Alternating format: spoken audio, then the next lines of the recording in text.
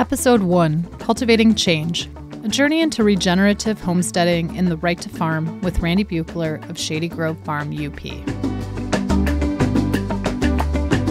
Welcome to This Artisan Life, the podcast where we delve into the stories of individuals embracing unconventional lives driven by their passions. I'm your host, Michele Dupras. In today's episode, we have the pleasure of sitting down with Randy Buchler, a small farmer in Upper Michigan. Randy is a fervent advocate for food freedom, a movement aimed at fostering transparency and sustainability within our food system through the principles of permaculture, along with everyone's right to farm. Join us as Randy shares his remarkable path back to health and fulfillment after a debilitating spine injury led him to discover his profound joy of farming. He'll offer insights into homesteading and discuss how he navigated a local lawsuit that threatened his family's way of life. So, without further ado, let's dive in. Thank you, Randy, for coming on This Artisan Life. Thank you. I'm honored to be here. Awesome. So, I had the pleasure of visiting Randy's farm this last weekend for one of his hog harvests. And let me tell you, it was a very enlightening experience. And I am very grateful for the time that I got to join you and be a part of your hog harvest. We'll talk a little bit more about that later, but just set the scene for our viewers of what your farm looks like and where it's located. Sure. So we're Shady Grove Farm UP. We're located in Gwinn, Michigan, in the central Upper Peninsula. Um, we live at what was my wife's grandparents' property. It's been in her family since the 1940s. Um, when they had it, it was 13 acres with about 600 feet of lakefront on Johnson Lake. We currently have six and a half acres, and we utilize about two acres of that for our permaculture system. Um, our property is really long. It's, I want to say at the longest, it's about 1,200 feet. We have two lots They're narrow, but they're long and they go a long ways away from the lake and actually go across the road. We have property on the other side. So, um, you know, when people hear about having a farm on a lake, all of a sudden it gets questioned. Mm-hmm. But we have plenty of property to where the setbacks are within the uh, setback limits that the Department of Agriculture wants to see and such. So, um, you know, everything's far away from the lake and it's all very concentrated in about one and a half to two acres. Okay. So when people think stereotypical farm and they're picturing rolling hills and big red barns, that's not what we have here. Your operation is much smaller. What kind of animals and plants? What do you mainly focus on in your farm? It's super diverse. Um, we've got a lot of perennial plants. Um, we have two greenhouses where we do a lot of annual uh, greens, tomatoes, peppers, things like that. And then we have, I keep a flock of laying chickens. Our primary product is organic soy and corn free eggs. Uh, and then I also do broiler chickens. I, I raise Freedom Rangers. We have wool sheep, meat sheep, and I also raise pigs. And I'll do Thanksgiving turkeys as well every so often. Okay. Awesome. So, uh, obviously, with your farm, some people use the term homesteading. Is there really any difference between having a homestead and having a farm? I think homesteading is it's a non-commercial way of life, so to speak. A lot of people homestead and they're just producing at least some of their own food, if not most. And, you know, we, I would say, are a good combination of homesteading and commercial farm. Um, we produce a lot of food for ourselves, and then we have the commercial aspect of selling eggs. I do sell some meat to people, uh, farm direct, and Libby makes clothing out of our sheep's wool. There's the commercial aspect and then the homesteading aspect. So it's a it's a nice combination. Awesome. Yeah. So what actually got you into this lifestyle? Where did it where did your story begin? It goes back to when we lived in Colorado. Um, when we graduated college, we moved out west, wanted to live in the mountains and live this healthy lifestyle. We have degrees in outdoor and environmental recreation, which obviously have taken us nowhere as far as the college degree part goes, but it did get us uh, on the path to where we are today. So we were living in uh, the mountains, 9,000 feet elevation, trying to grow a garden. We were eating meat at the time. And, you know, we started thinking more about where the meat was coming from and how it was being produced. And, and we realized we knew nothing about it. And it was kind of weird to us. So, ironically, we became vegetarians and stayed that way for 10, 12 years. And till one day a friend who hunts brought over some bighorn sheep steaks and cooked them on the grill at our house in Colorado. And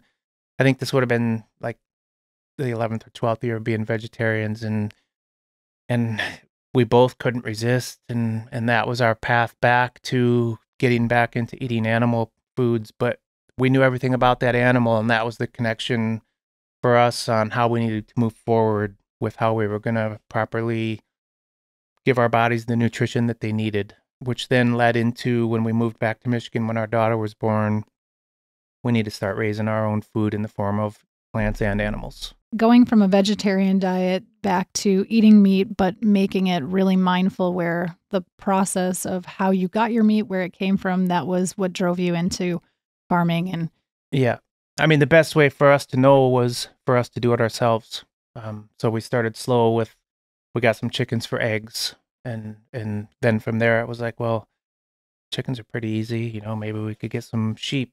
And so we got some sheep and then libby started using the wool to spin yarn and knit and started making sweaters for the kids and and uh and then we harvested a sheep and we're like well we should get some sheep for meat as well and have dual purpose animals. Okay. and you know it just kind of you know like they joke you know be careful chickens are the gateway animal s- for farming you know it's a slippery slope. yep I think Brian this weekend mentioned that as well. It seemed like everything he got, it was the next got a one up it. yep yep Okay, so what you mentioned on your farm, you practice integrative regenerative permaculture. Can you give us kind of an idea of what exactly that means? when you look at industrial agriculture for example a lot of it is like monoculture monocrop soy or corn or like a a CAFO confined animal feeding operation where it's like all pigs there's no diversity. And to have a healthy system and ecosystem you want diversity. So the integrative part is integrating all different plants and animals together into the same system. You know, we've got annual plants and perennial plants and you know, we interplant those even. And and then all the animals are integrated, you know, their pens are all neighboring and sometimes even uh, there'll be some chickens in with the sheep. So the integrative part is just having everything in your system working together. And then the animal inputs benefit all of the plants and the soil. Um, and the regenerative aspect is just basically doing things in such a way that it's healing to the land, healing to the water, healing to the air, healing to everything around it. And and what we've seen over the last 20 years of doing this is just this huge diversity of different species of life coming back to our property. It's been incredible to watch. When we moved there, it was just, you know, I mean, you'd see it, squirrels and deer every now and then, but now we're seeing all kinds of butterflies and pollinators and frogs and toads and snakes and birds and and it's just been incredible to see the life that has come back and instead of things just being alive, things are thriving now. So regenerative meaning regenerating the land, but also just working in that closed Mhm. system and how everything's affected by yeah, one another. And, you know, also like when I do my animal harvest, for example, a zero waste animal harvest. Um, what we don't consume for ourselves or use for us, maybe the dogs will get some, or the chickens will get some. But what none of the animals use, the rest of it goes into my compost piles, and my compost piles eat it Mhm. and then it becomes part of our living soil, which all goes back into the system. So we've gone from really sandy soil to now we have soil that's alive and thriving. And I have soil consultant uh, look at the stuff under microscope and analyze and quantify the microbiology to make sure that what we need is present in the soil to make everything above the ground as healthy as what's below the ground. so soil is much more complex. Than, So much. And I think Yeah. what you had mentioned to me about your compost piles, you said, you know, a lot of people think, oh, I'm just going to go down to the farm down the road and grab some compost. And maybe what you're getting is mainly animal manure. And you had mentioned about how you actually turn your compost piles and test them for quality. You're getting a lot different product than just going and getting manure. Yeah, you know the most important part of soil are it's the things we can't see. And it sounds great to just get a pile of manure from a farm, you know, that was compost um and everybody thinks that it's you know when you put this into your garden that everything is just going to flourish. Um But if it's not composted properly and it's anaerobically digested and there's a high count of bacteria and not a lot of fungal activity, if it's not composted right, you're not going to have all the beneficial things that you need. And it's it's a huge learning curve. Like I don't have time to become a soil scientist, but I have friends who are and I've learned a ton from them. The recipe that I use for compost, for example, is uh, it's from a woman, Elaine Ingham is her name. She's like one of our country's leading soil experts. And, uh, you know, it's 60% carbon, 30% green, 10% nitrogen.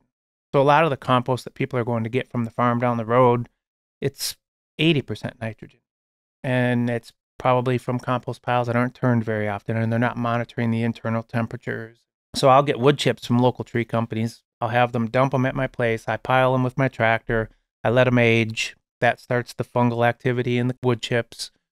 And then that's 60% of each compost pile. And then 30% in the form of plant matter. So I'm going to plant a lot more comfrey this year. It's a really good one.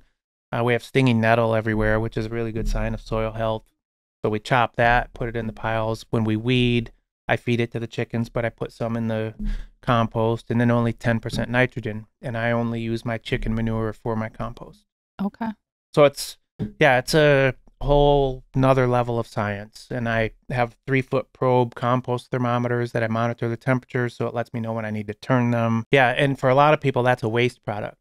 For me, it's I, I consider myself a soil farmer, um, and then the soil does the rest. So if I can get the soil to a point where it's almost biocomplete, is what they call it, where it's got everything you need and at high levels, then everything above the ground will do wonderfully. I think you mentioned or I heard you mention once you're like soil is living, dirt is dead. Yes. Yep. So when you see huge corn and soy mm. operations, for example, their soil's not alive. They've killed it spraying it with chemicals. Therefore, they have to use synthetic inputs in order to make their things grow. You know, like GMO soy, things that you can spray with Roundup, that it'll kill everything but the plant that you want to grow. Um, so if they, if you were to look at their soil, um, it's not alive. You know, there's the chemicals are killing all the life that you want. So weeds are a part of gardening. They are. they yeah. need to be. A weed is something that grows where you don't want it to grow. Doesn't mean it's a bad thing. It's just somewhere where you don't want it. So when we remove weeds, I've learned to just embrace the fact that it's not a weed at all. That's chicken feed. Oh. Hmm. That's not a weed at all. That's pig feed or sheep feed. Um, you know, we have a lot of quack grass around some of our garden areas, and I tried for years to eliminate it, and we would dig it up and try to get rid of it, but it, you can't. So finally, I was like, all right, let's get a push mower with a grass catcher and embrace it. And it adds to the aesthetics of the farm, and it's pretty, and it feels good to walk on barefoot. Gives you a spot to put some lawn chairs to sit down in the evening and relax. And so I use a push mower with a grass catcher, and I just mow the quack grass and instead of my chickens being on pasture, I bring the pasture to them in the form of cutting the grass and weeding. You know, so those are all things that you have to work with what nature's doing versus trying to combat it. So really it's about changing your perspective. It is. And understanding we're not in control. As much as we want to be, we are there to facilitate a system and manage it and if you're paying attention, the system's going to tell you what it is that it wants to do. Mm-hmm. So it's not about what I think that I can control. It's about me paying attention enough to maybe make some adjustments to let Mother Nature do what it's going to do anyway. And I like the idea, like you said, being a facilitator, because when I was thinking about your role in how you raise your pigs, and right up through to the end, you really truly are, in my eyes, the facilitator of this pig's best possible life. And so it's not just what the pig gives you in the end. It's it's really the full circle of from the time you bring the pig onto the farm and how you're raising it, you're facilitating this pig's best life in highest possible purpose. So knowing what it is that you can control and then embracing the things that are outside of your control, but really just having that perspective on both. And you know, the pigs, in a sense, facilitate the quality of my life too, because mm-hmm. we have this year long uh, reciprocal relationship where I'm giving them high quality feed and I'm giving them back scratchings and love and compassion and everything that they need to live a life that's filled with peace and stress free and Mhm. comfort. And and in turn they're giving me love back. And every morning they want me to scratch their backs and they're rubbing up against me. And you know there's just something for me that's incredibly enjoyable to work with animals every single day. And animal husbandry can be really good or it can be really bad. And it's something that I take pride in with providing the absolute best life that I can to my animals because that's what they deserve Mhm. the thing that I've taken on myself to provide the entirety of the best life would be the harvesting. So to keep the full circle of life on the farm is the one thing that it took me a while to get there, but I knew it was something that I ended up having to do for the animals. Sure. You know, I couldn't raise the animals the way I do and then put them in a trailer and take them somewhere else and just ignore the fact that they're not going to be killed with the same intention that I would do it on the farm. And it was very obvious to get to observe your process. It really is a ritual. It's something that you take great care in how it goes down. And I was really thankful to get to experience that and be a part of it. I think it's the antithesis of what happens in factory farms, and it's what makes your work so much um, more important. Yeah, it makes well, it thanks. and so that kind of brings me into my next point. You know, you mentioned uh, through caring for these animals, it really helps facilitate your best life. And that wasn't always the case. This wasn't what you used to do full time. Can you tell me a little bit of kind of the story of how you got into farming more full time? When we first moved up here, um, I was bartending for a while because that's what I did in Colorado and in some casinos out there. And you know, we sold our house after our daughter was born, moved to the UP into Libby's grandparents' place, and and I was like, you know, just get into bartending because that's what I know. It's easy to get that job, and uh, so I did that for a while and became a sea kayak instructor as well. And I did guided trips along Pictured Rocks and Grand Island, and you know, while I was doing those two jobs, Libby was a stay-at-home mom, and I was also searching for something that was more of a career versus just a job, and and I realized quickly up here that careers are pretty specialized here. Um, but then a, a buddy of mine came in one day and he's like, "Hey, you know, this tree company's hiring. You know, they're doing line clearance tree trimming." And uh, so I, I applied and ended up doing this trimming tree trimming along the power lines for several years, and ended up having a spine injury in 2008, and uh, I broke the lower part of my spine at work, and my spine was going back and forth on my sacrum, and and ended up needing surgery and cadaver bone, and which ended up rendering me disabled. I have permanent nerve damage, and my left leg doesn't work right. I have drop foot, and uh, so I was off off work for a long time with that, and started to think about what we could do to keep my body moving. And I knew that I I couldn't just lay around and watch TV and you know be on pain meds, and so I I didn't do the pain meds, and we that's essentially when we started adding more things to the farm stuff. So it gave me more to do. So, what initially started as kind of more of a hobby, then kind of evolved into this way to keep your body strong and keep you active, keep you moving. And through doing that, you kind of realized, hey, you actually really enjoyed that kind of work. And I think um, you had mentioned to me once, you said, well, if I only knew it would take a spine injury yeah. to move into this lifestyle more full time. Yeah, you know, I was an athlete my whole life and and I've always been just a busybody. And uh that spine injury was humbling and it just put me in a place of this isn't going to work for me to not be active.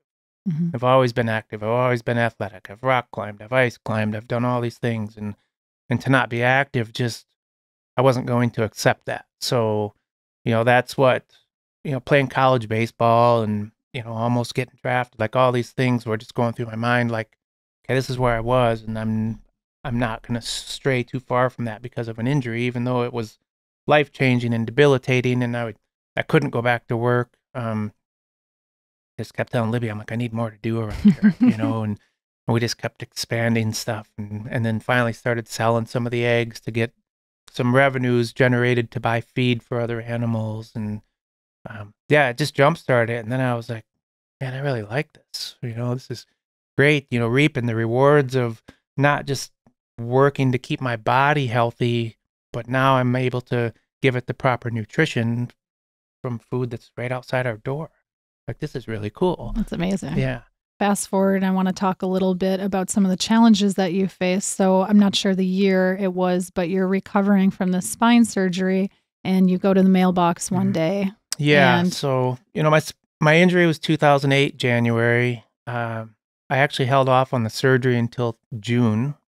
I was trying to do physical therapy and stuff, and it got to the point of, you know, they did some more imaging under flexion and extension, and it just wasn't going to heal. So they did the surgery. So now I'm in recovery mode after a major spine surgery and uh, going through a workman's comp battle and fighting for Social Security disability. And part of my everyday therapy was walking, you know, and so I'd walk down to the mailbox. We've got a driveway that's an eighth mile long, and uh, go down to the mailbox, and I there's an envelope in there from Forsyth Township, and I was like, I wonder what this is. And, at that time, we had chickens and sheep and bigger garden spaces, and so I opened the letter and on the way back, and I'm reading it, and I'm walking with my cane, and and this letter said that it had come to their attention that we had ch- chickens and goats, and that in the Lake Residential District, agricultural activity was not allowed, and that we had to cease and desist all agricultural activity now. And I thought to myself, we don't have goats. we have sheep, you know? So uh, immediately it was like, okay, obviously somebody turned us in. Was a shock to you because you didn't even know that it was a problem. No, I didn't. You know, I'll be 100% honest. I was completely ignorant to zoning stuff. Um, and, and, and I was kind of in disbelief that what we were doing in somebody else's eyes was a bad thing. Mm-hmm. You know, it's not like we had a factory farm on in the Lake Residential District. You know, at that time we had maybe 50 chickens and like four sheep, but we had six and a half acres. Like there was tons of room to do what we were doing. We were doing things organically. Like we weren't harming anything. We were actually improving things. And, you know, our property across the road connects to what used to be a horse pasture. Like four houses down from us, like when they were growing up, they had pigs. Like it wasn't something new to the area. It's just that nobody was currently doing it at that time but us. Libby was working uh, as a school bus driver at the time, she had to find something after my spine injury because I had no income and $100,000 in unpaid medical bills that I was fighting to get paid. And one of the people that she worked with uh, lived down the road from us. And apparently went into the township office and asked them if we were allowed to have livestock in that zoned district. Ironically, it just happened to be written down on a complaint form. And uh, so that's where it all stemmed from. Was it what I was told to be an inquiry and uh, yeah, so you know my first thought was okay, that's not going to work for me. We can't cease and desist what we're doing because it's now becoming a way of life. It's not just a, a hobby. Mm-hmm.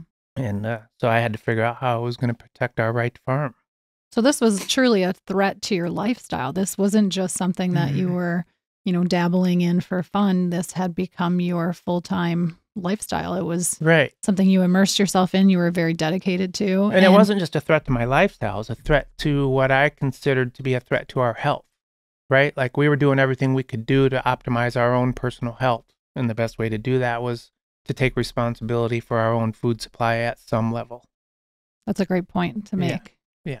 And it was also a threat to my recovery because what I was doing was part of my recovery from my spine injury. You know, so at that point I was like, well, if I stop doing this, then what? Am I going to become that disabled guy on the couch? It catapulted me into, okay, how can we make this work? So instead of letting it stop you, you took the initiative to you got you put into action, how do I make this work? And so you went into research mode of understanding more about what the law was and what the problem was as Well, far as the first thing- zoning. First thing was is I had to respond to the township. You know, so at that point I wasn't in research mode, I was in reply mode and and it was you know an anxiety cause. I was already going through hell. I mean, you know, I was in two lost legal battles for workman's comp and disability.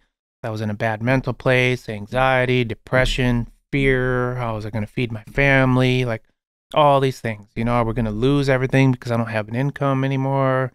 And the company that I worked for was being super hardcore and not cooperative. And they were trying everything in their power to make me lose the workman's comp case.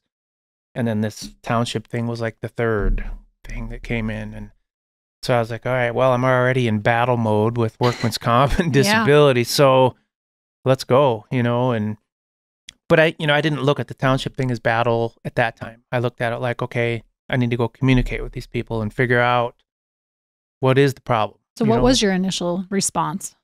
Um, you know, I had to go down and address the fact. I, I, I actually corrected them. I'm like, we don't have goats, we have sheep. You know, and um, but I'm like, why, why is it an issue? And this, you know, I went down and I talked to them, and and uh, they just said that in their zoning, agricultural activity is not allowed. It's not a conditional or a permissible use of that zoned district. Lake Residential District was the highest taxed district, and that was a no no. So I'm like, well, how can we make this work? You know, I mean, we're here, you know, we're newer in the community. I mean, we've been there for eight years, but, um, you know, we're here to do good things. Like, we don't want to do any harm, and we're not doing any harm. And, you know, how can we make this work? And they were like, well, we don't think we can. And I'm like, well, I do think we can. You know, I mean, so I started attending township meetings and I would try to garner community support and have people come and speak during public comment periods. And we had tons of people that were supportive of what we were doing. And, you know, we were instrumental in starting the Gwinn Farmers Market with some other people. And then Libby took over managing the farmers market. And as we're managing and running the farmers market every week, we're also in this I don't want to call it a fight. It was just this back and forth with the township, and our farmers market was run through the township. Like we were doing it at a township park. All the finances ran through the township offices. Um, Libby was the market manager. We had a credit card machine, and bridge cards were accepted there. Gwinn's a low income community, a lot of food assistance people. Here you are trying to integrate into the community all that you do in in the sense oh, yeah. of and we were going to the meetings mm-hmm. and um, yeah so at the meetings you know i was like well how can we come up with a compromise you know do i need mm-hmm. to reduce how many chickens i have you know uh, that we're trying to bring good food food into the community mm-hmm. we're trying to make healthy food available to people of all levels of income um, Libby had written a grant to, for double up food bucks so people with bridge cards could come to the market and get $20, spend $20 off their bridge card, get $40 worth of farmers market oh, wow. tokens. I had set it up with Marq-Tran to make trips, multiple trips during our farmers market from Sawyer to to Gwinn to the park so that people without transportation could come and have access to food, good healthy food. You know, so I was bringing all these points up, and other community members were coming to the meetings and bringing those points up, and and they just wouldn't budge. You know, it was more like a good old boy system that was mm-hmm. just like, well, this is the way it is, and it's always yeah. been this way, so yeah. therefore we're not going to bend the rules for you. Right, and, and you know, and change just seemed like it wasn't even going to be on the table. So, in the meantime, you're doing all these things with the community, and there's this unresolved issue. There's this elephant in the room that just won't go away. So, at what point did it come to a head? I had attended, man, I don't even know how many meetings, to be honest, multiple. Um, and I'd realized, okay, this this isn't going anywhere. And it, you know, during after a few meetings, I realized what I was up against. Like I just my intuition was like, okay, this is going to be really hard. So I did start doing some research on how to protect commercial farm uh, or homesteading or whatever, uh, any type of food production in any zoned district. Like, is there's got to be something out there that says that we can do this without getting in trouble, you know, and and at the same time, like, still continuing to work with them and like. I volunteered my time like this let's form a committee and maybe we could change the zoning to allow people in all zoned districts to produce their own food at some level. Mm-hmm. You know, because there is a way for everybody to do it at some level and do it in an environmentally responsible way that's not harming anything. Um, our neighbor at the time was a science teacher at the Gwinn schools. She brought her class to the lake to do water testing to show that what we were doing was not doing anything to the lake water. Um, we had our well tested. Our well would be the first one to be affected by having a few chickens and some sheep. Everything came back excellent. Because um, water quality did come up at one of the meetings. And so some of the research I was doing was things that affect water quality. Well, you live on a public lake, there's outboard motors, there's pontoon boats, there's speed boats, there's fishing boats, there's jet skis. In the winter, there's snowmobiles where the exhaust is landing on the snow and um, you know, there's like you can see rainbows on surface of the water in the summertime from motors, right? Um, one of our board members lived across the lake from us at the time, and so at one of the next meetings, I had done a bunch of research on the effects of those motors and stuff in water, and and I brought all these handouts, and and I said, okay, I said you guys had mentioned water quality. So if that if that's the issue here, I said then let's talk about water quality said everything that we're doing is organic and it's not harming water quality at all. If anything, what we're doing is beneficial to everything around us. I said, but you, sir, you ride an old school jet ski on the lake that my children swim in. You're dumping 30% of your unburned fuel into the lake that my children swim in. So if this is about water quality, let's talk about water quality. I said, we're the only people on the lake just about that don't have a motorized watercraft. And then I went around and I handed everybody handouts on the pollution aspect of outboard motors and boats and things on water. And I said, now, if it's not about water water quality, I said, then let's get down to what it's about. Mm-hmm. I said, it's about I'm not part of your good old boy system. So either we talk about water quality or we quit wasting time and we talk about what the real issue is here. Mm-hmm. I'm not complying with your wishes to control what I'm doing. And I get that. There's been zoning in place for years. But as a community, we have the ability to change that. Mm-hmm. And I had discovered the Michigan Right to Farm Act at that time. And I went and I handed them all this little excerpt from the Michigan Right to Farm Act. And uh, I showed them there's this state law in Michigan called the Michigan Right to Farm Act. And I said, I'm not sure if you're aware of it or not. I said, but from what I've learned about it, if a farm is compliant with certain aspects of policies within this law, that the state law trumps local zoning. And I gave them all this little ex- excerpt from the Right to Farm Act. Mm-hmm. And at that point, I was like, maybe this will get their attention. Mm-hmm. And at the time, there was an attorney on the board who, after reading what I shared with them and doing his own research at the next meeting, he said, I think Mr. Buchler's right here. I think this does protect him. But nobody else would budge on it. And so I just continued. And at one of the meetings that we weren't at, this came to me later. Um, it was said that, well, the Buchlers don't have any money. Let's just take them to court. They can't fight this. And that essentially was the justification for them taking us to court, assuming that we wouldn't be able to defend ourselves. However, I was this deep in research at that time. You knew otherwise. Yeah. Well, what they didn't know is that I had found another organization called the Farm to Consumer Legal Defense Fund. And it's a national organization that helps protect small farms. I reached out to the Farm to Consumer Legal Defense Fund and I presented to them our situation with our township. And at that time, I'd probably done hundreds of hours of research. After talking to Pete Kennedy, the president of the organization at the time, or the director, I don't remember what his title was, but within 15 minutes, he's like, wow, you've really done your homework. And I'm like, well, no offense to lawyers, Pete. I said, but nobody's going to protect me like I'm going to. And uh, so he told me that he had to present it all to the board and he would know probably within a couple days whether or not they would entertain litigating our case for us. Called me back a couple days later and he said the board voted that they would take our case. So now I had a whole team of lawyers that agreed to take our case. We didn't have to pay them.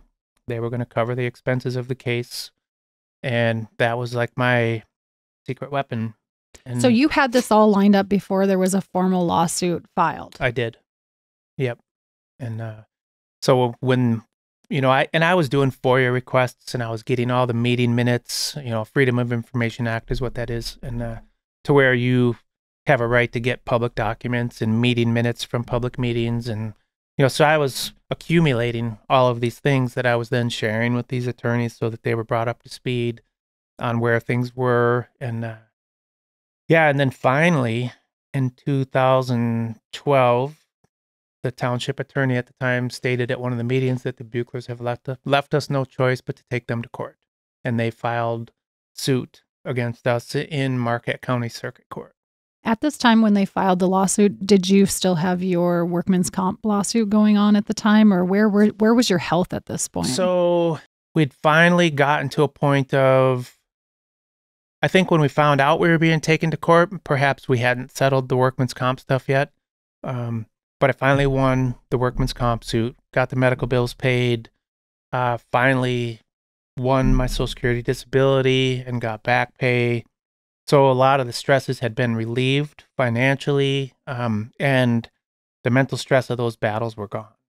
And now you were ready to so take now on I this could next. focus on this. But you know, I was like all of that took toll. Like I was in a bad place and like just unhappy, miserable to be around from all the battling that I had to do while also trying to recover from health and and then Lyme disease also kicked in at the time.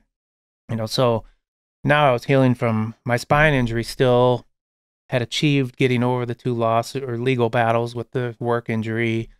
But then Lyme, I started getting sick and, uh, you know, having seizures and losing use of my legs and couldn't figure out why. And, um, and then come to find out it was Lyme disease. So Lyme disease is another thing that affects you mentally and physically. And so I wasn't in a good place at all. And the last thing I was wanting to do was go to court and be in a trial.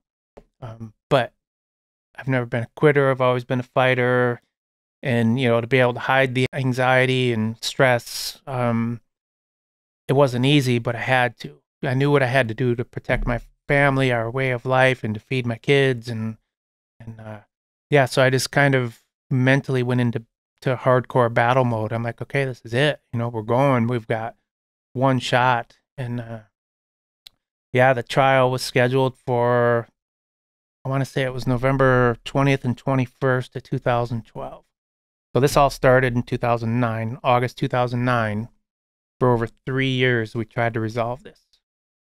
So, with, you know, I had three years to research and do all the things I was doing while I was trying to just not have to go to court. And then it came down to going to court. And uh, prior to that, there's a program within the Department of Agriculture called the MAEAP program. So it's the Michigan Agriculture and Environmental Assurance Program. And uh, and I found that, and I'm like, well, I can proactively have these people come and inspect our farm to see if we are at a point where we could be environmentally verified and be compliant with any state requirements. Mm-hmm.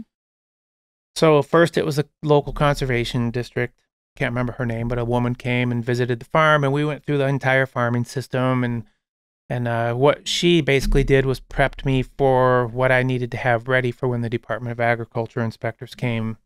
Um, and I was pretty much in a really good position to have them come, but I needed more documentation on paperwork to show them in the form of water usage, manure management plan, an overall farm plan. So I got all that stuff done, and then the Department of Agriculture MAEAP inspectors came, and two of them showed up the director of that program and then a new inspector for the Upper Peninsula. So we started walking around through the farm and looking at stuff and chatting about how the system was functioning. And, you know, they were saying things like, wow, you got a lot going on in a small area. And I'm like, yeah, it's called diversity, you know? And like, we're not used to seeing this kind of thing. They're used to inspecting industrial agriculture type farms. And so we went through this whole thing and and uh, it was a couple hours probably, and then we went in the house and sat down at the kitchen table and and they're like, well, you know, congratulations, you know, we feel that you have everything in place to be environmentally verified, and uh, as soon as you sign this paperwork, you know, you'll have right to farm protection. And the one thing I didn't tell them at that time is we were in the midst of this heated battle with our township because I needed them to remain objective. And and I was doing this so that once we got that MAEAP verification, that was proof that we were compliant with any state requirements in order to have right to farm protection. Okay. So there's things called GAMPs, generally accepted agriculture management practices. They're voluntary, you don't have to abide by them, but if you are compliant with the ones that apply to your farm, that in turn gets you right to farm protection as long as you are commercial in nature. So you have to be a commercial farm, be compliant with the GAMPs, and then that will then gain you right to farm protection. Did you have any knowledge of this before the lawsuit? No, no, I, I was forced to have a workman's comp education. I was forced to have a social security disability education. And then I was forced to become almost a lawyer when it came to the mm. right to farm stuff. So, looking back on all of it and how much hell it was to go through, I gained a priceless education in multiple arenas. Absolutely. Yeah. Yeah. And man, talk about anxiety. Um, you know, at that time too, it was like just nonstop news interviews and radio interviews and you know all these people like it was i had another uh a guy who he's frontiersman media was the name of his company and videographer and he came up and did an interview and put it out on youtube and and uh, it reached thousands of people and i was being contacted by people from around the world. Like i was contacted by people from 11 different countries. Oh my gosh. it was nuts. And i'm thinking how in the hell does this little tiny farm in little tiny Gwinn in the upper peninsula of michigan that people don't even know exists it's not on the map most of the time? And all of a sudden getting inundated with messages and and uh, so it was super overwhelming. And like leading up to court i was like i can't even believe we have to go to court to defend having chickens and sheep hmm while our neighbors are burning garbage in their burn barrels and you know it was just crazy to me. And so yeah um we got the farm to consumer legal defense fund to i reached out to them i'm like is there any chance that we could hire a local attorney that i know who is also a farmer that is really into this case and they said yes so we got michelle Halley as our lead attorney uh this the co-counsel was Steve Bemis out of Ann Arbor, Michigan, and then support was all the other attorneys that were part of the Farm to Consumer Legal Defense Fund. So we had a whole team of attorneys, and and then we also had that MAEAP verification in our back pocket, which proved we were compliant with everything required by the state of Michigan to be protected by state law, which renders local zoning unenforceable. Now all we had to do was go to court and prove it. Okay. So, how long did the trial actually last? two full days, uh, one and three quarters of a day, I guess. Um, but it was a two day trial, and the courtroom was. You had a lot of local support. oh yeah, like looking out from the stand, the entire courtroom was packed. Ninety nine percent of them were there to support us. Then there was this little group of people over here behind the plaintiff table that were township people. Um, couple citizens from the township, you know, that were part of the good old boy system.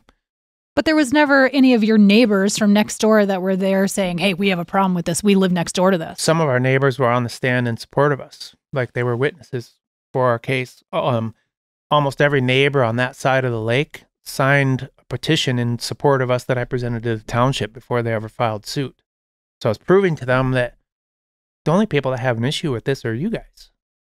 Nobody maybe a couple random other people um but people that knew nothing about what we were doing. I invited everybody to come to the farm. Hmm I'll show you what we're doing so you can see it's not a bad thing. Hmm and only one board member came. Actually, two, two board members did. Um, so yeah, and there were people like walking around outside the courthouse with signs in support of us, and you know, like food freedom, and um, so it was really overwhelming. TV cameras everywhere. Like when we walked in, like so I was just intimidated from the get go, and I'd never been in court before, and I'm like, not a bad guy. Why am I in court? you know, I'm trying to do good things, and so yeah, it was crazy. I was on the stand for five hours oh my gosh. just getting drilled. And I, Libby was on the stand first, and I felt bad for her because she's an introvert. I'm an extrovert. For her to have to be up there was completely out of her arena. Like she hated every second of it, and uh, and I felt really bad because the lawyer, the township lawyer, was just an ass, and he was just. I mean, he's a lawyer, and I realize that's part of their job is to go at the people, but um, he was just being mean, you know, like just a mean spirited guy. Well, and here's this woman, your wife, who had done so much for the community and all the all her work with the farmers market, and it it's a slap in the face, really. Yeah, it was. Um, they were just like kind of putting to the side all the good things, and it was more about we're in control here, and we get to tell you what you can and can't do in our community. And uh, but I, you know, I was up there. I was on the stand after her, um, and yeah, the the attorney started asking me questions, and you know, I mean, I was just shaking inside. I was a nervous wreck. My hands were sweating. You know, the judge is sitting right here, which was intimidating. You know, I was like, man, this is just too much. And and then all the people out there looking at me. You know, so Mm-hmm. I'm having to talk with all these TV cameras, and you know, I was in a really bad place, and I was walking with a cane, and I was sick with Lyme disease, and stress and anxiety from all of the last three years, and just in a bad place. And then after like the first hour or so of being up there, I was like, all right, I'm focused. I got this. Like, I know way more than this attorney knows about this entire situation. I know far more about the law than this attorney knows. He's just trying to strong arm me. He's trying to bully me. And he's trying to get me to react in an angry way to make me look bad in court. Mhm. I'm not doing it. I'm going to beat him with knowledge. So I got into a comfort zone and I just started. He'd ask me a question and I would sometimes be almost political about it and I would kind of ignore his question and I would just share information that was more important to me awesome. while in a roundabout way answering his questions. And after maybe three hours, it was lunch break.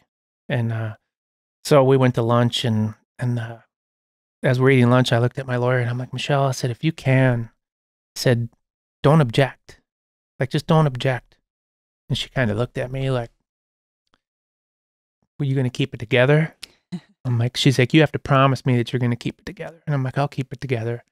And she's like, okay, but if you start to lose it, I'm, I'm going to object. And I'm like, all right. And then we went back in the courtroom and, and the, I was, I just got right back into the zone and it continued. And in my opinion, I felt like I made that attorney look pretty bad. Um, he was supposed to be the guy with all the knowledge that was going to shut us down. But I felt like I was the guy that had far more knowledge and made my case for the judge to see. And uh, But is this the same attorney that you said at some point mentioned, oh, hey, they actually are right? This, when you no, no, first. no. This okay. was the actual township attorney. I Um, see. There was another attorney in our community who just happened to be on the on one of the zoning boards. Okay. um, who uh, I'm not going to say he was on our side, but he was smart enough to realize the law was on our side, and he was trying to get the rest of them to realize that too.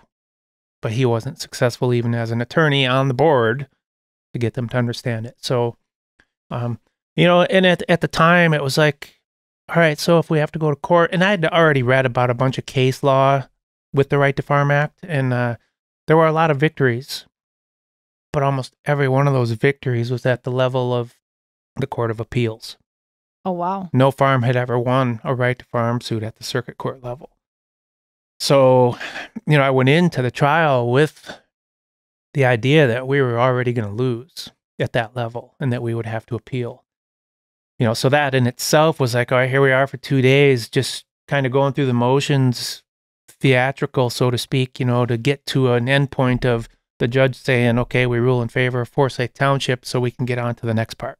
Oh, wow. Yeah. So at the end of day two, during the judge's closing statements, I don't know how long he talked, I can't remember, but it was a pretty long closing statement. And, you know, one of the first things he said was, I find it ironic that here we are trying this case on the day before we give thanks for the bounty of the harvest, because it was the day before Thanksgiving. I'm like, okay, he gets it.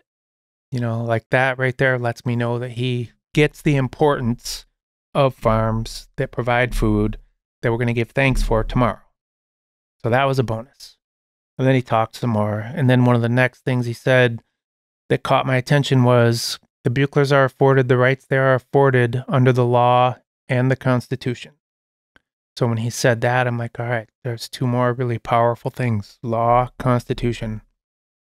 And then he said, but the township is also afforded the rights they're afforded under the Zoning Enabling Act, which I had also read and made myself very informed about. And uh, and there are, he was right there too. Um, and then he said, "I'm going to review this case, and I will have a decision in the next 30 days." So there was no ruling. there was a lot of information that he had to go through. And yeah, I mean, that was two days of testimony. So And- you're basically left hanging for up to a month yeah. before there was a decision. How long did it actually take before you got a, a word back? Uh, I think it took just over three weeks. Wow. Yeah, and uh, and it was like I was anxious to get the decision, but it's like I already said, you know, we'd expected to lose, and then I think it was just before I don't know, it was like a the week before Christmas, and my phone rings, and it's well, it's Michelle Halley, attorney's calling me, I'm like, hello, and she's like, hey, I'm like, hey, and she's like, we won. I was like, what? She said, we won. I'm like, no way. She's like, yeah, we did. And I, you know, we were just like, holy shit, I can't even believe it. And I'm like, I, I don't, I don't believe you. And she's like, I'm serious. And I'm like, Michelle, nobody's ever won at the circuit court level. And she's like, I know. And she's a, a pit bull in the courtroom. Like she's so good. And I don't mean a pit bull in a vicious way, but she's so good in what she does in presenting the facts and the case and and uh yeah so um we were beside ourselves i was like a the best early christmas present we could ever get you know and and uh, so we celebrated with this victory just waiting for the next notification of forsyth township is going to appeal You were expecting them to appeal. we were. Yep. Um one of the things going back to the trial is uh part of the michigan right to farm act is you can be reimbursed for all of your legal fees through the right to farm act if you win. And you have to ask for that ahead of time like you have to let them know that you're also going to go for reimbursement of legal fees. And because we weren't MAEAP verified by the state of michigan at the beginning of all of this um it was probably just over halfway through when i found that program and did that um the judge ruled that the farm to consumer legal defense fund was only going to get reimbursed 50% And this is reimbursement from the township. reimbursement from the township. So now the township not only had to pay for all of their own legal fees to Mhm. take us to court using our tax dollars against us, they also had to use our tax dollars to reimburse the Farm to Consumer Legal Defense Fund 50% of their cost.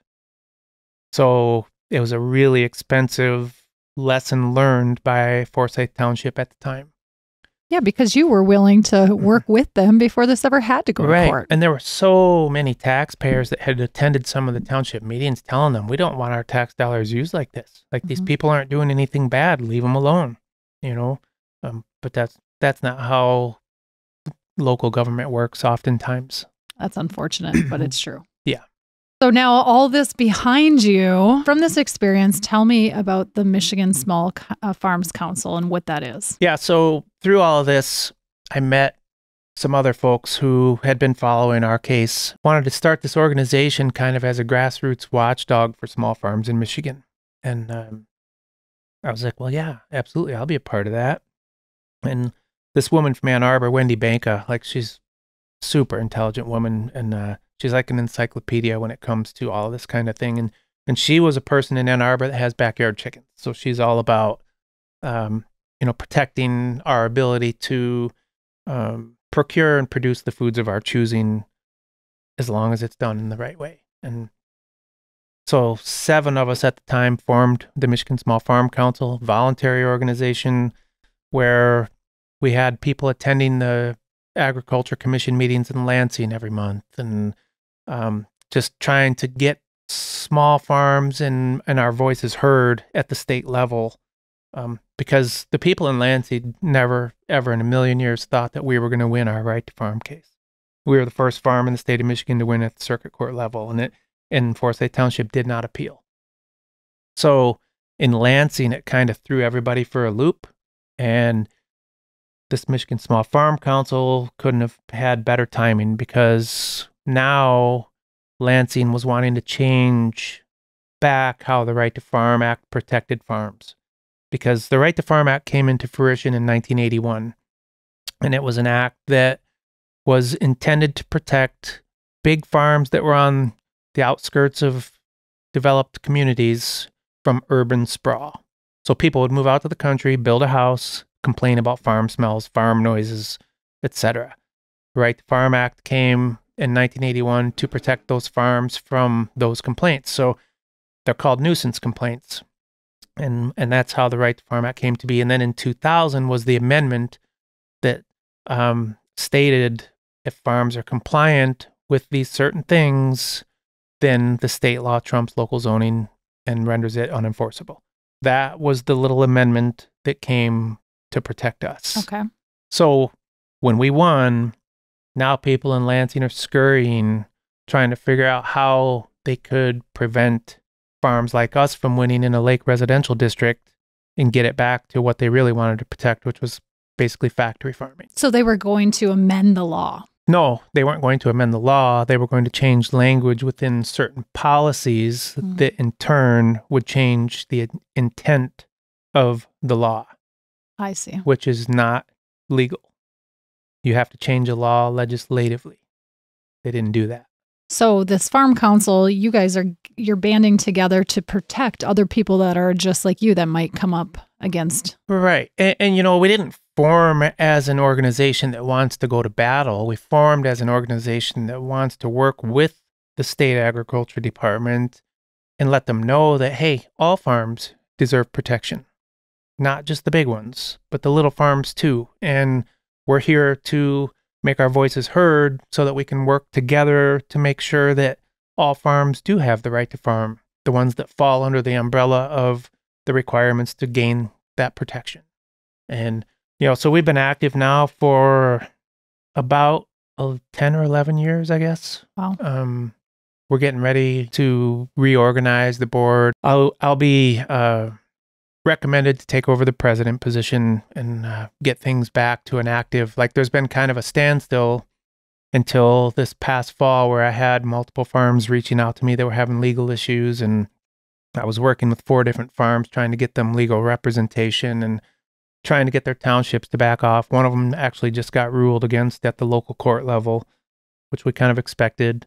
Um, so they'll be going to the Court of Appeals. What people don't realize in the state of Michigan or any other state probably, but Michigan um, is the state that I'm aware of. So many people have no idea how many local townships are trying to shut down small farms. And it's not, I can't say that it's just because they don't want small farms.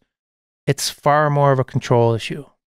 It's really weird. Um, it's overreach, and they tend to just ignore the state law. And my strong opinion is that they're doing it solely on the basis, like our township board member said, they don't have any money, they can't defend this. They have the ability to use your tax dollars for their attorney to fight you, and you don't have the same financial resource. It's out of your own pocket unless you're lucky enough to get farm to consumer to litigate your case. Wow. Yeah. Like there's all these things that people just don't know that I've been a resource for several farms and I don't get paid for it. You know, I've spent probably thousands of hours at this time consulting with other farms, but I know where I was and it's hard to get help and they're desperate.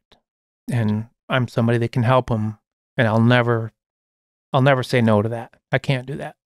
Would it be fair to say, even the stress of going through this experience, in the end, it all kind of became worth it because you became this wealth of knowledge and your ability to help other people do do the same kind of thing you were trying to do? everything that I went through, there was extreme hell at the time. I wouldn't change any of it. Because number one, it's got me to where I am today, but it allows me to help so many other people when there's nobody else they can reach out to. And that's important. Yeah, for sure. Like I, I, I really love the pay it forward aspect of all the things that I've learned, you know, and, and uh, when I went through it, I didn't have support. I had nobody. Mhm. Like it was me and Libby. She was my support. She, you know, I'm surprised that she just didn't kick me to the curb. Like, get out of here. You're just bringing nothing but trouble, you know. But she stuck with me, and and uh, now we're just doing our thing, and and it allows me to help other people. So that brings me to my next point. I think one of the things you're very passionate about is the impact and advocacy that you can have at a community level, um, the broader sense of community within other farmers, but also just educating the general population in what it is that you do and, and the difference between an operation like yours and, say, like a factory farm. So I had mentioned that I got to join you for one of your hog harvests and see it firsthand. But can you kind of give me an example of what what other things you might do that bring people together to kind of edu- help educate and inform what it is that you're doing and how it differentiates from, say, what people would generally think of when they think of farm? let's just go right to the to eating meat aspect of things real quick. You know, I share a lot of what I do on social media as a way to not just inspire people, but I want them to understand like you can do this. Like you can do this. Um and what I'm doing is something that's completely different than a pig that's been raised in a building with 20,000 other pigs or whatever. Um, so one thing that I do is I open up my farm and I, I offer free workshops to teach people from live animal to putting it on our plates. And to me, completing that circle is one of the most important aspects of eating animal products. That's why we were vegetarians for as long as we were, because we didn't know that full circle. We were we were ignorant. Um, so I took it upon myself to take responsibility to learn that circle, and I want everything that I've learned through doing and from other mentors, I feel like it's one of my most important jobs as a farmer to share that so that it, the more people I can connect with how that meat gets to our plate and show them an ethical way of doing so, the more people will have a changed perspective on, hey, maybe if we support farms like this, then together we can combat industrial agriculture of animals and plants. It definitely opened my eyes. I kind of had a little bit of an expectation of what I was going to see, but to get to experience it firsthand, right to the point of um, us cooking up some of the food that we had harvested that day, it was very much a full circle and in a in a very beautiful way. It was just it was very enlightening, and, and I had a, a great a sense of gratitude to experience it because I feel like a lot of people will never get a chance to experience that in their lifetime. Well, and, and you know, part of the reason they won't is because most farms don't do this. Mm. You know, our our government policies are such that you can't harvest an animal and sell it at the farmers market. For example, you have to take it to a USDA facility to have it killed there, processed there, and have the stamp on it so that you can then retail it directly to customers at a market or wholesale it to a restaurant. So the regulations prevent a lot of that from happening for me, I was like, you know, I don't need to sell the meat at the farmer's market. Most of it's for us anyway. I use a lot of it for bartering, but it's counterintuitive to spend all the time, effort, and money that I spend to raise animals beyond organically and then put them in a truck or trailer only to have the end of their life be horrible, stressful, hormones being released that literally chemically change the makeup of the meat. So it's the last couple of days could essentially negate the entire year of work and love and compassion and quality that I've put into those animals. So I had to get over I can't kill my own animals. I had to get over that. I had to put my emotions to the side and realized it's not about me.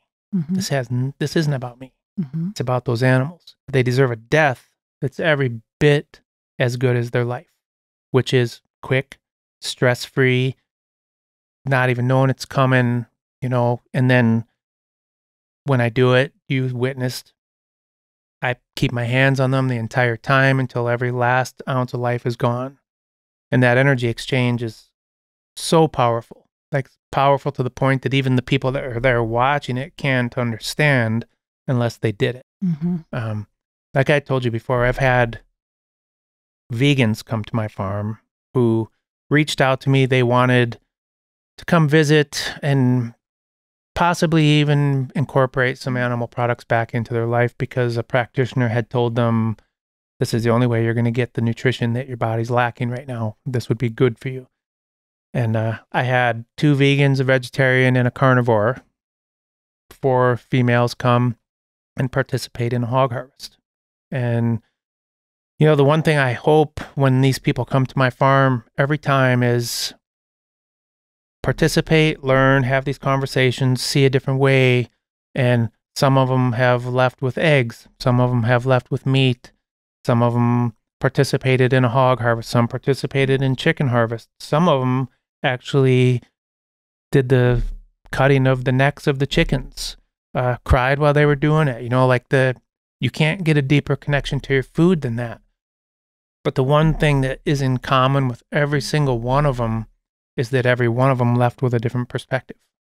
And that's what's going to change the food system moving forward. If I can get more people to understand what I'm doing is also combating the industrial farming of animals, then together we can combat it more successfully. That makes a lot of sense. Like, I'm not the enemy. I tell people I'm also an animal rights person. That's why I raise and harvest my animals the way I do. Because we're never going to get people to stop eating meat, ever.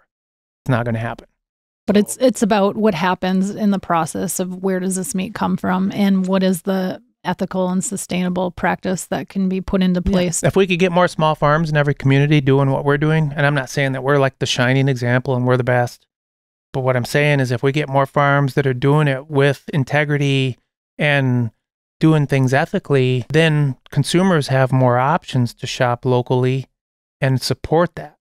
And then what does that mean? It means factory farms start losing business, right? Like we vote with our dollars kind of a thing. So what would you suggest for people to get more involved or what what can they do at their own level to help support small farmers? Well, first of all, find find the small farms in your community. Go to the farmers market, talk to farmers, you know, try to try to learn more about why what we're doing is important and how it's going to benefit the community in the long run, how it's going to benefit your own personal health in the long run, how it's going to benefit the environment and everything around us, the water quality. Like there's so many positive things about it that everybody in the community wins if we have more of us doing it. Like this whole trying to shut small farms down thing doesn't make any sense at all, especially with the direct, like COVID should have taught us that, right? Like the alleged food shortages and egg prices skyrocketing and shelves being empty. You know, if you want security, food security, um, it's far more secure at the local level. The industrial food system is a house of cards waiting to collapse. I'd agree. Yeah. I mean, it's it's scary actually. We're using the word food and a lot of it's not even food. That's a really good point too. So what you do at your level and the care that you take, um, something that I've heard uh, about your practice is you don't use any corn, soy free, corn free, GMO free feed with your animals. Can you tell me a little bit about that? Because that obviously seems like it's a big differentiation from larger farms. Yeah, you know, soy and corn are two of, they are the two primary livestock feed sources. Um, soy and corn grow are being grown everywhere. Um, and if you're talking at the conventional level, like it's just thousands and thousands of acres of corn and soy, GMO corn and soy that are being sprayed heavily with chemicals. Um, there are also organic soy and corn operations, but I've chosen to eliminate both of them. Corn is basically it's a it's used for energy. Soy is over 40 percent protein, so it's a you feed a bunch of soy, you can grow things quickly. Like people are growing these high uh, genetically modified Cornish cross chickens and they're getting them up to like six, eight pounds in six weeks. Where their breasts are hanging on the ground and it's obviously inhumane. Muscles grow far quicker than their skeleton does. So their bones aren't strong enough to handle the weight of the animals. They break legs. Their hearts can't keep up. So their hearts explode. They die of heart attacks. Um, it's absurd. Like it is kind of a form of animal abuse in a sense, feeding them like that. I mean, you can also raise them and not overfeed them and keep them healthy. I've I've seen it happen. I raised them once, um, but it's just weird. And you know, soy isn't necessary. Corn isn't necessary. Corn is basically an empty carbohydrate. But it's used because it's cheap. It's used because it's cheap and abundant. And it's government subsidized. A whole bunch of it is. Yep. Um, conventionally speaking, um, organic farms typically aren't subsidized quite like that. But um, yeah, so soy and corn, they're they're the mainstay for most livestock. And I chose to eliminate it because, you know, soy alters estrogen levels and um, none of us necessarily need it. Like you are what you eat eats, right? So we are what we eat, so are the animals. And if we're giving them a optimal species appropriate diet, um, then when we eat it, it's going to be better for us too. That's a really good point. And one that I don't think a lot of people think of. They, think I'm making a healthy choice. This is organic. Yeah, most people don't even consider what the animal like if they go buy eggs, they don't consider what the chicken ate or how what the quality of the egg might be nutritionally speaking. Um, but I have customer, I have one customer who has severe soy and corn allergies. She wasn't able to eat eggs for over 20 years. She found my eggs and started eating them and has zero uh, reactions. And, and in turn, she said that her health has significantly improved since she started incorporating my eggs into her diet.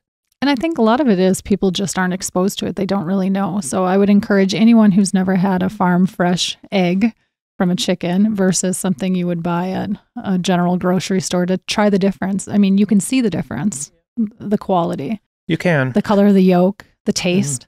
Yeah, and you know the freshness. Like Mhm. you'll just see the the like my eggs at the grocery store have to have a 30 day sell by date. Most industrial factory farmed eggs that come to the grocery store are already 30 to 60 days old when they get there. So my eggs at their expiration date, like the date they have to be pulled from the shelf, are fresher than the other eggs when they get there. Wow, how is that fair? Well, it's it's just the it's logistics. I see. right? Like I'm going a mile to deliver my eggs. Who knows where those other eggs are coming from? And these huge, like it, some of these places will have a million laying hens in buildings, you know, so they're they're able to put eggs into a cooler for 30 days or however many days before they get delivered, and then they have to go onto a semi. Then however long it takes for the semi to get to where it's going to the distributor, and then from the distributor to the grocery store, like there's all these middlemen. You know, I don't have a middleman. And I kind of I love your tagline, grateful eggs laid by hippie chicks. Yeah, that started as a joke way back when I had this top hat rooster. Top hat rooster has long hair, and I had long hair at the time, and we've been called hippies for years by people who were Grateful Dead fans, Deadheads, and uh, and yeah, Kramer was this rooster's name, and you know he'd hang out and like roost on the handlebar of my chainsaw, and like you'd pour beer on the ground or something. He would drink beer, like he was just one of the guys, you know. So he turned into our he was our hippie chicken, and and I did that kind of as a joke that caught on, and you know the lightning bolt from like the Grateful Dead steal your face symbol, and and to be clear, some of the Grateful Dead members have my shirts. I've met some of them; they're cool with Oh, it. wow, Like, that's Yeah, they had no problem with it. So What a cool story. yeah. So where do you see the outlook as far as the potential for growth? Like where where do you feel like this is all going as people begin to wake up and want to get more involved in their food supply and what do you think the next 10 years look like? Do you see any changes coming down the pipe that might affect you or people like you? You know what I see happening is there's far more of a demand for people wanting to learn this stuff. There aren't a lot of us that are willing to be teachers as farmers. I mean, it's hard because oh, we work seven days a week to maintain a farm and manage everything, and I don't have employees. We don't have employees. It's just us, and and uh, so like for these little workshops, you know, I have to turn people away. Um, a lot of the workshops that are similar to mine, where the farmers are monetizing everything, they're expensive and unachievable for a lot of people financially. So, what I see is more and more people wanting to learn the skill sets and wanting to start homesteading. Um, I encourage people all the time you need to take responsibility for at least some of your own food supply, be it a tomato plant in a five gallon bucket on your porch or six chickens in your backyard, whatever it is. But if you're completely dependent on the industrial food system, you're in a really bad place. But if you can depend on yourself for some of it, and even if you're not going to harvest a pig, come and get the skill sets. Because if you don't know how to end the life and process an animal, you're also sitting in a bad place if the food system collapses. And now with technology, I think there's so much access to information out there. And one of the guys that was at the hog harvest this weekend, Brian, was talking about how I asked him, I said, How did you learn how to do all this? And he said, YouTube. Yeah. Oh, yeah. You can learn anything on YouTube. But to get the hands on experience, how many people do you think have come through your farm over the years? Oh, geez. Um, a couple hundred anyway. You know, and I, I have a lot of repeat people. but I try to limit that. Like Mhm. if I have new people that want to come, and I have people travel from far, you know, like I've had people travel from out of state, from several different surrounding Midwest states, and uh, I could probably just become a, a homesteading small farm teacher, and I could fill up a class every weekend. You know that I think that's where things are heading. Do you think that's has to do with your involvement with social media and the fact that people? I, I feel like I got to know you more through your social media before I ever met you because people gravitate towards others that live this life with passion.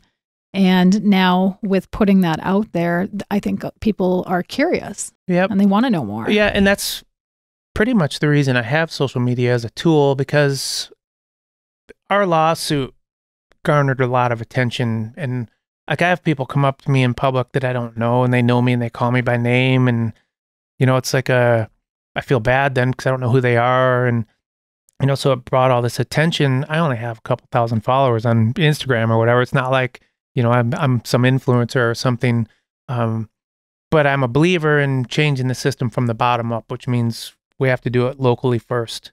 And I'm more concerned about getting people in my own community to come and be part of what we're doing.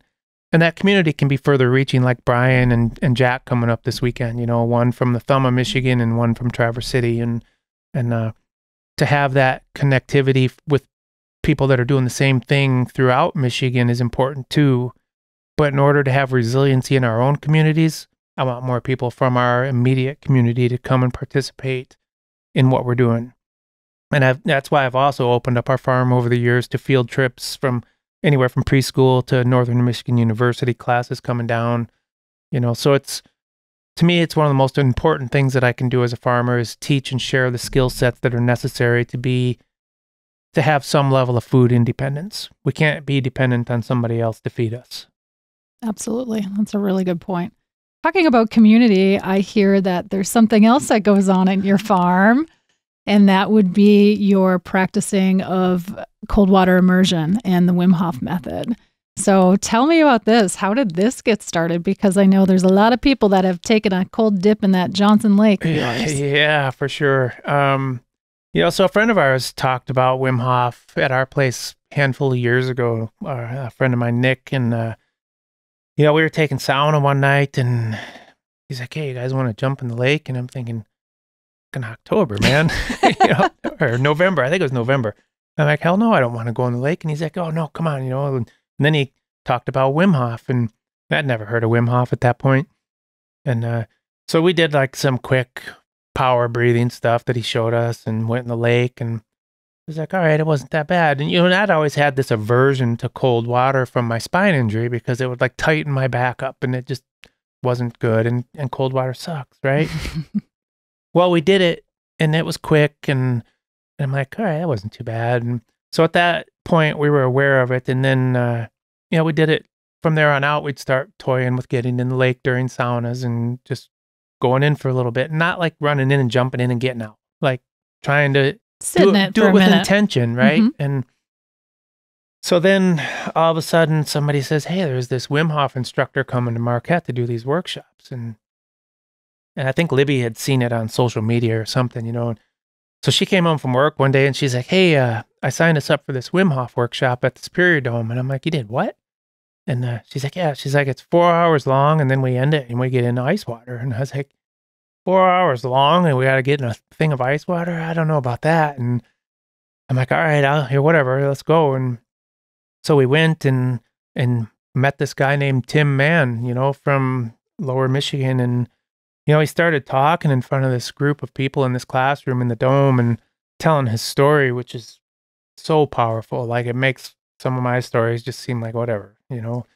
But I mean, this guy's story of being smoked by a drunk driver at 80 miles an hour. He was on the side of the road. Like he immediately had my attention. Like this guy's gone through some shit like I have, you know. And and uh, he said, you know, I discovered this Wim Hof guy, and you know, none other than on the Joe Rogan podcast, and and uh, he learned all about Wim Hof, and he's like, it helped him so much through his recovery, you know. So he he had like I went from not really being interested to I was all in, and I'm like just like absorbed in what he's talking about, and and this Wim Hof method practice, like between the three pillars of mindset, breath work, and cold water immersion, essentially saved his life. Like he became addicted to opioids after his accident and was in a really bad, dark place like I was. And we both were suicidal in our independent situations. And and then all of a sudden something came into his life that helped save his life. And he's like, Well, now I hmm. gotta share this with other people. So we were both on this path of darkness. Something came in, shined light, and we both got to a point of, okay, now we need to pay it forward.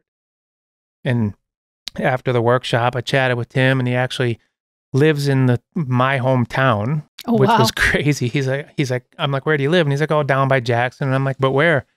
And he's like, Grass Lake. And I'm like, Grass Lake? No shit. I said I grew up there. And he's like, no way. And then we just hit it off, and and so we went out to dinner that night, and I said, hey, I said, if you ever want to come back and do a workshop at our place at our farm, you know, I said we'd live on a lake, and he's like, really? I'm like, yeah.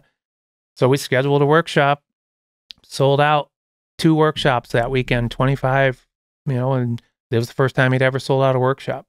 And that was going on two years ago now. And we've held at this point, I think 16 workshops at our place. We've had a couple hundred people come through our home. Out of those couple hundred people, I think all of them said there's no way that I can get in the ice water for two minutes. After learning Tim's, after listening to Tim's story and learning all the science behind it, doing the breath work and having the power of a group of people doing it together, every single one of them did the full two minutes in the ice water. Uh, so it's just another way for us to open up our home and farm to help initiate other people to take some responsibility and control for their own well-being. And the Wim Hof method has helped so many people that have come through our home. Like I, I still get feedback from a lot of people, and we've met so many incredible people. It's been awesome. So, for those who, who don't know, tell us a little bit what is the Wim Hof method? It, it incorporates breath work. It does. Yeah. So one of the main things is mindset, like shifting your mindset to, no, I can do this. You know, because when you think about getting in, like right now, I've been the last three nights we've been taking sauna and cold plunging with the hog harvest crew, and and uh, you know the water's 32 degrees. I mean, it's super cold. The water only needs to be under 60 degrees to gain benefits from cold water immersion. Under 45 degrees is better. Um, but so there's the mindset of shifting your mindset to I can do hard things kind of a thing. And then there's breath work. And the breath work is magic. Like it's it's the one part of it that I think people really underestimate when they come into a workshop. And it's probably the most powerful part of the entire workshop, doing those three rounds of really hardcore breath work together. Because it takes you to a place that you didn't know that you could achieve. And then it's when you're done, it prepares your body for that cold shock. You know, it's called hormetic stress. Cold and heat shock both do it. Um, but the breath work prepares you for that cold shock. And when people get in the water and get through the first 20, 30 seconds with some long exhales, all of a sudden they settle in. And then before they know it, the two minutes is up. I've personally experienced this. So just recently, I went to Tractor Supply and I got myself a 120 gallon water trough, like you would use for livestock, and I filled it up in my garage with hose water. And just for some context, it is February in Upper Michigan here, so that water's pretty cold. It's not quite frozen in the gar- garage, but it's cold. And we put it outside of our sauna. And going through the process, I have been reading a bit about the Wim Hof method and getting yourself into that mental state through being aware of your breath. And it is it is fascinating for anyone who's interested in trying it. There's a point, usually for me, it's around 40 seconds when I get into the water where you have this release. I'm guessing what's happening is your body's releasing that those endorphins where it kind of you just become calm. And um, the overall effects after you're done with a really good breath work sauna slash cold plunge session, it's incredible. I Yeah. mean, you feel amazing. It's mind blowing, really. And you know, there's a huge movement of people doing this now. Um, the one thing that I will stress, being that we're talking about it here, um, there's a huge safety factor that goes into this, and it's not something that people should just go try without learning more about it. Mm-hmm. Um, because it's a huge, dangerous there's a huge danger factor to it as far as hypothermia. Like a lot of people, I shouldn't say a lot, but several people have died trying to do the Wim Hof stuff because they were doing the breath work in the water, for example, passed out, drowned. Uh, several people get hypothermia. What they don't realize is your body doesn't reach its coldest temperature, its coldest core temperature until after you get out of the water. So we just had a, an instructor from Germany come for our last round of workshops. And the way he put it to people was the cold plunge starts once you get out. That's when your body gets cold. And then you have to do these things to warm up. Um, so I can't stress enough to people if you have the opportunity to take a fundamentals workshop, it's a one time thing. You learn the skills and the science behind it that you need in order to practice it safely and then benefit your health for the rest of your life. So if people want to learn more about it, we have two more workshops coming up in March, March 2nd, March 3rd. Uh, go to trainthebrainllc.com. Tim Mann is his name. Um, tons of information. He's the only certified Wim Hof instructor in Michigan and incredible guy. Uh, we'll keep doing workshops at Shady Grove Farm with him.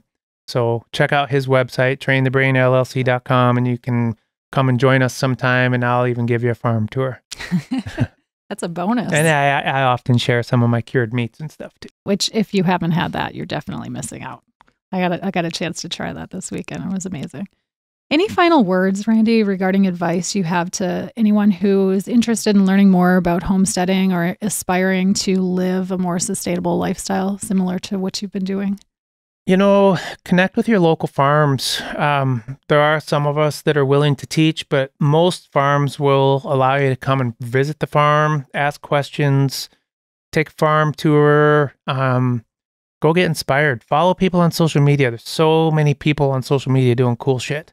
Uh, I follow a ton of other farms, you know, and you can follow bigger farms like White Oak Pastures in Bluffton, Georgia, um, doing huge regenerative. Like they were all industrial agriculture, and and when Will Harris took over the farm, he switched it over. Like there's just magical things happen happening in the regenerative agriculture world. But yeah, reach reach out to some of us that are willing to teach and share skill sets and knowledge and you know, I, I'm happy to give people farm tours and talk about our permaculture system and how to integrate things and make things work. You don't need 40 acres. If you have a city lot, you can do some pretty cool things. And I can talk to you about what you can do and how to incorporate some livestock and food growing, you know, plants and whatnot into a really small space. Um, my main thing of advice is don't hold back, go for it. Like there's no better time than now to start producing some of your own food. That's awesome. And I will link all of Randy's social media handles in the show notes along with some of the other things that we talked about today so people can reference that. Yeah, and you know, I and I also want to go back and touch on like the Michigan Small Farm Council stuff. If you're a farmer in Michigan, join the Michigan Small Farm Council. It's free. Um, and and as Michele said, there'll be links to it. Um, and then join the Farm to Consumer Legal Defense Fund too. That one costs, I think, $125 a year. But what you get from that, like the resources are priceless when it comes down to, you know, you didn't think you were going to have to defend your farm and all of a sudden you do. But if you're not a member, I can't help you. Farm to Consumer can't help you. Um, we should have the right to procure and produce the foods of our choosing. And and uh, even if you're zoned agriculture, it doesn't matter. I am working with farms right now that are zoned agriculture whose townships are trying to shut them down. So join those organizations. If you have questions, reach out to me. I can direct you as well. Um, but it's really important that we all come together on this to protect small farms, not just in the state of Michigan, but everywhere. Like Michigan had, I say had because there's been some changes, but it still has one of the strongest right to farm acts in the country and we we just need to have more farmers standing up and to be informed enough to be able to stand up and have the confidence to stand up to local governments. Awesome. Well, Randy, it has been a pleasure. Thank you for coming and talking with us today. Yeah, thank you for having me. It's an honor to be your first guest. Fantastic. Yeah. All right.